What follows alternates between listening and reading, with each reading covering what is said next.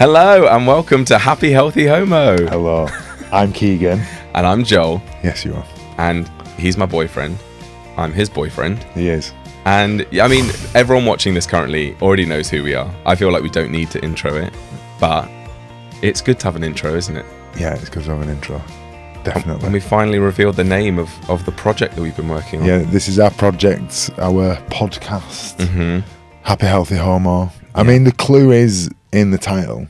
Yeah, we just got asked arriving at the studio, oh, what's the podcast about? And we were both like, uh, uh, uh, uh, uh," and couldn't describe it, but actually the title of it describes it, doesn't it? Yeah, it's. I think we've become uh, in the conversations that we've had, we've become very aware that there's lots of people who are lots of gay men, particularly, who are Mm. Like disillusioned with the gay community. Yeah. and I don't know why I did that uh, with the gay community. Gay community. Yeah, right. um, with the gay community and and the the the norms now they are appropriate because they're not necessarily normal. Yeah. You know, and standards and the hypocrisy of it as well. Mm. You know, of of how discriminatory it is, how exclusive it can be Yeah. when it talks about being inclusive and welcoming to all. Yeah. Um, and, and we've put a lot of content about that out lately, haven't we? And Mm. it's been getting a lot of traction. We thought, do you know what? There's something here, and because we don't subscribe to a lot of stuff that's viewed as the normal behaviour or ha- what, what's going on, and we thought, well, you know, maybe there can be another narrative. Maybe Yeah. there can be another a voice of reason. Yeah. Um, Definitely. We hate it when people think that th- there is a certain way to be gay. Yeah. And, oh, you're gay. That means you have to go out partying every weekend. That means you have to take loads of drugs. That means you have to be really promiscuous and sleep Yeah. around. It means, or whatever. It might not even be as serious as Yeah, that. but you love musicals. I mean, Yeah, obviously, I do, we do. love musicals. You love drag queens? I mean, I do love drag I don't really care for drag queens. We- Yes, you do. Oh, you got- love drag I've race. got drag queen fatigue. Yeah. Hasn't everyone? Dratigue. Dratigue. Yeah. We've all got dratigue. But yeah, so th these this idea that there's there's set way. a set way to live, behave, relationships. Yeah. You know, all this stuff that's now perpetual. uh, All you people are popping on about is open relationships. It's know. like, no, I'm all right, Yeah. thanks. Yeah.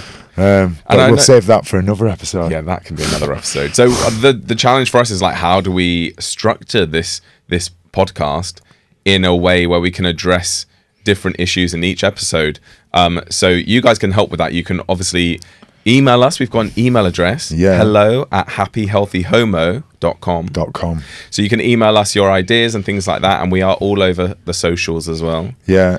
It, what are we on Instagram, TikTok? happy healthy homo yeah on Yeah. all of those as well as our personal pages but just to snowball on what you've said as well obviously we make videos on youtube i'm a youtuber have been for years you are a youtuber Uh, Is that a thing? Have you just made that up? yeah I like that. it's good isn't it you're a Yeah. youtuber i'm a youtuber Yeah. um but people we get lots of comments going this is amazing like this is like you guys are just normal and again we have a weird view of like don't really like to say normal Yeah, we don't. I don't really. We, we've had Yeah. we've had discussions about the word We normal, have. haven't we, Joe? We have, and we will have more discussions about that because I love saying normal. Keegan hates it. I'm not a fan of the word normal. But people are like, oh my gosh, you two are just two regular guys and you never see this. And of all the gay vloggers on there, you two are the most real and da da da da. And it's not that we're trying to be. Sorry, this sounds like such a humble brag.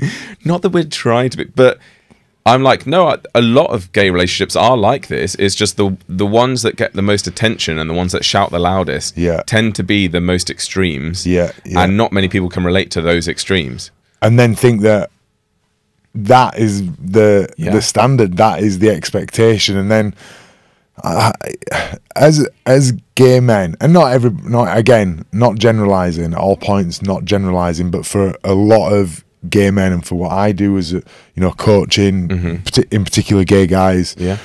that our our lived experience is unique to us as a community. You know, we mm-hmm. don't share our minority status with our parents. Mm-hmm. We there's there's a lot of shame and um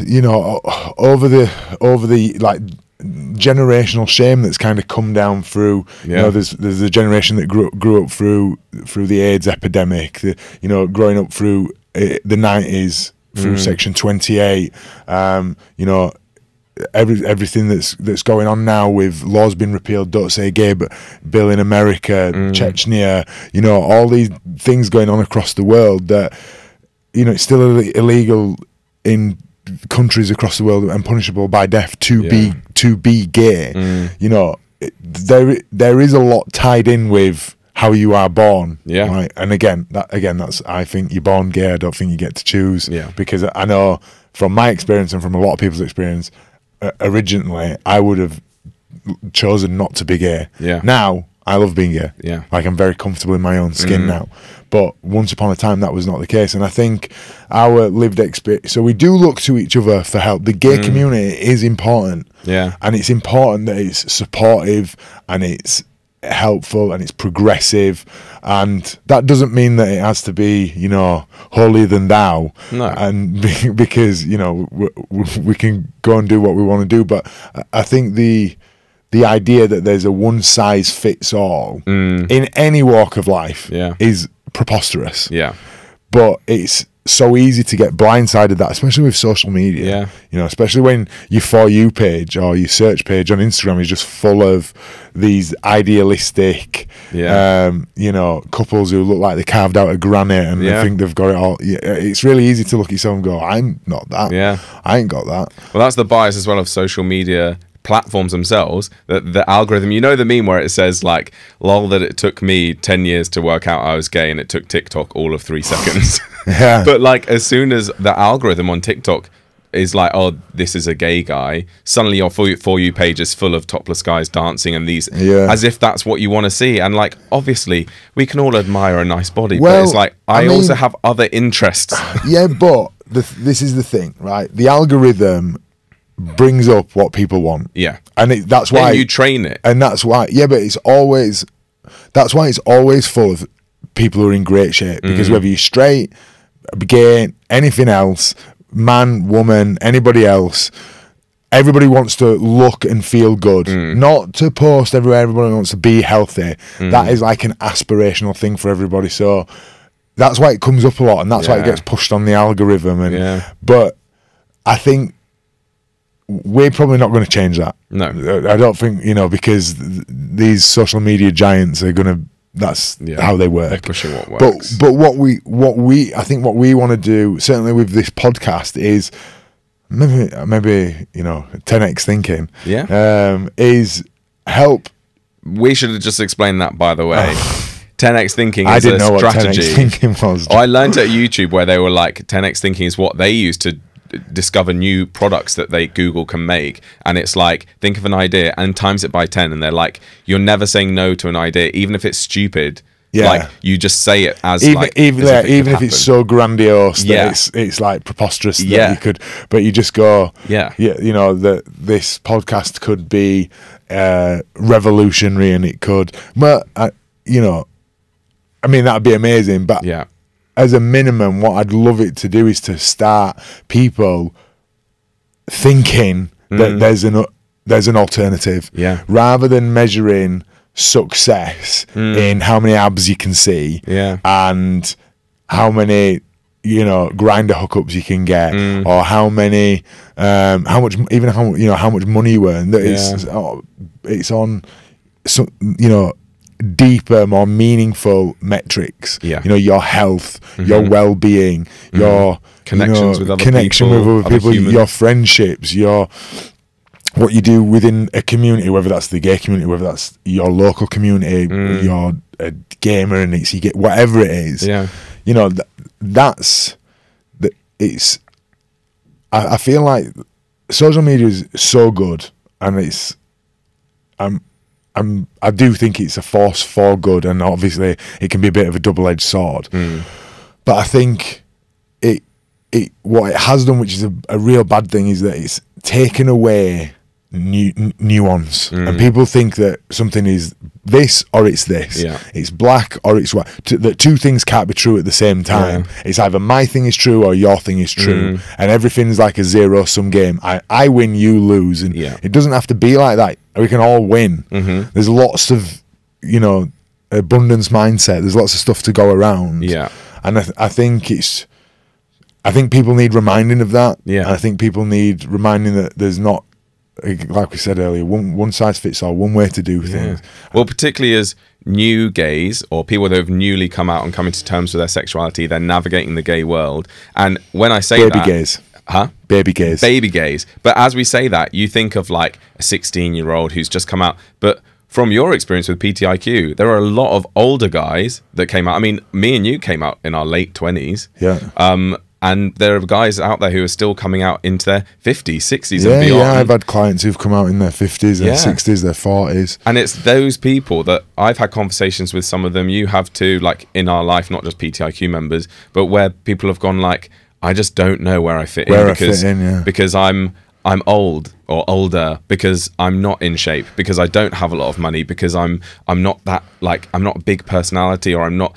They give themselves all these excuses because they think they need all those things Yeah. in order to fit in. And so I feel like this podcast is just us providing an alternative to go. Mm, You don't need to do that. Well, it's, yeah, it's challenging those narratives that like age. Like, Yeah. is there a community more ageist than the gay community? Like, if It's you're awful. if you're over thirty five, you might as well be dead. Yeah. Um, and if you're single and thirty five, then you you're done. done. But I mean, I just find it. I, I, maybe this is because I'm a, like a big history geek and I like Mm-hmm. learning about the past. But th- there's ex, there's so these men who are in their forties, fifties, sixties, Mm. seventies have gone through so much. Obviously, in the world, the world has changed, but Yeah. the the society at large has changed so Yeah. much. R- uh, attitudes towards gay people, lo- even laws around. You know, if Mm. Yeah. Mm. you're 70 years old, you will have lived through in the UK. You will have lived through the decriminalisation of homosexuality. Yeah. You will have, you know, might have been around for the Wolfenden report. You might have, um, you, you there when Section 28 was launched by Thatcher in '88. You were oh, that was very good. I don't know. What, I only know that because it's the same year as my birth when I was born. Um, He's 35. yeah, he's, he's, Ooh, dead. He's dead. um, you know, there's all, all the, uh, the the AIDS epidemic, Mm-hmm. all these things that have, you know, first prides and things like that. These are people that we should be going. What? What need? we- It should be What them. what, yeah, me? what could you teach me? How can we be better gays? How can we help each other out? Because even as you said that, I feel now imposter syndrome of going, how am I? I'm 31, you're 35. We're, uh, how are we qualified to be doing this podcast? But I know that the alternative then is that this podcast doesn't get made. Yeah. So we've had to fight those battles in our own head of going, no, no, no, we have got something to say. We're also not perfect. And we're not necessarily saying that what we're saying Speak is the right way. um, is the right way. We're just offering an alternative. hundred percent. Yeah, Um, I- and we will call out what we believe to be unhealthy behaviors. And there will be some gays out there that go, I don't think that's unhealthy. So we might ruffle a few fe- feathers, feathers. feathers in it, bruv. Um, yeah, yeah, exactly. We, we that was a conversation we had about starting this podcast. Was can we do this? Mm. Yeah. Like, are we qualified? But who who who is qualified? And Yeah. you know, uh, uh, for for me, I know that once people start watching this and Mm. people start getting in touch with us and talking about this, or even challenging things that we've said, Yeah. so then then it gives us another perspective on it. Yeah. you know, I'm sure that this will be a learning process Definitely. for us as well, and something that you know we we might have thought that we were really Yeah. I'd figured got it. out, yeah, and then you go, well, maybe that not be, and I, th- and I mean, again, that's probably is a thing. If you think you've got something completely figured out, you're probably Yeah. going to get bit in the backside, aren't you? But But we all have those firm beliefs. We've, I feel everyone has some beliefs that they hold like very firmly, and other people have, and then we also have beliefs that are a bit more malleable. So I feel like we'll be honest when there are things where we go, "This is what I think. I could be wrong, and maybe da da da da da." But there will also be times where I'm just like, "I, I this is a hill I will die on." I do not think that's healthy. And I don't care if someone's offended by that because actually I'm so passionate about providing this alternative uh, life. We hate lifestyle. no, but I'm just saying I feel passionate about standing up for my community, which is the gays that go, I don't fit in with with the gays. I don't want to go out partying. I don't want to be in an open relationship. I don't want to just spend a million dollars on my body, stuffing it full of filler and like chiseled abs and all these things. I mean, I would like chiseled abs. Let's be honest. Well, nobody's going to say no to No. Abdullah. But do you know what it's I not the be all and end all, is what we're But saying. there, that that's the hill I will die on because I'm like, well, I'd rather give a voice to these people than like the popular kids in the gay community. yeah, we're taking taking back control. We're taking back. We're going to the back of the bus and we're This is kicking a revolution. and we're kicking the cool kids. yeah, You've you've not done a good job. No. We're moving you on. you haven't. You've not created a healthy environment for your community. Let's all hold hands. Let's all hold. Let's bake a cake with smiles and sunshine. Gays do love baking uh, banana bread. Banana bread. Yeah, gays and banana bread. Gays, that was the thing in lockdown. Yeah. Well, I feel like everyone made banana bread in lockdown. I didn't didn't. You didn't. No, I meant sourdough. Oh, yeah, classic. so gay. Um, it was easy because there's no yeast. Mm. Yeah. You got the air bubbles in it. Yeah, we've Yeah. digressed. sourdough guys well that's what you can expect as well just little little tangents as well about sourdough sometimes Yeah, I think sourdough's overrated, and that's a hill I'm willing to die on. So keegan is there a topic that you're excited to cover in an upcoming episode of happy healthy homo I don't know. Mm, I don't know about excited. I think. or passionate about particularly Well, obviously health Mm-hmm. and and uh, body image, s- beauty standards, things like that. I am I am passionate about that. Yeah. Um, health is wealth. Health well, is but it wealth. is, and it, it you know, I, I am passionate about that, and I think there's a lot of. I think it, it carries with it a lot of again. It carries with it a lot of shame. Mm. People can often feel embarrassed about their body or not living up to a particular standard, and I think um, we need to take that away as as as a coach. Yeah. that, that- that's what I try to do. But also as someone who puts out content into the world. Yeah. you know, is to try and the the aim of me putting something out into the world. I, I believe, rightly or wrongly, is to is to make the world a better place. Is to add something to somebody. Yeah. I would hate for someone to watch my content and go.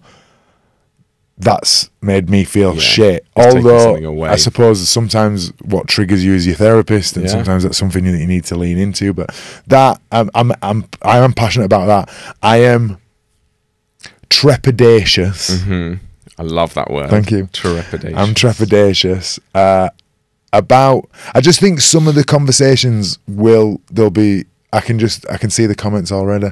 Uh, the ruffling of the feathers. I think relationships will be a hot topic. it will be yeah Um, hot, sexy. Hot sex. And those are the topics I'm looking forward to is like dating and relationships. I mean, you, you're an expert on dating.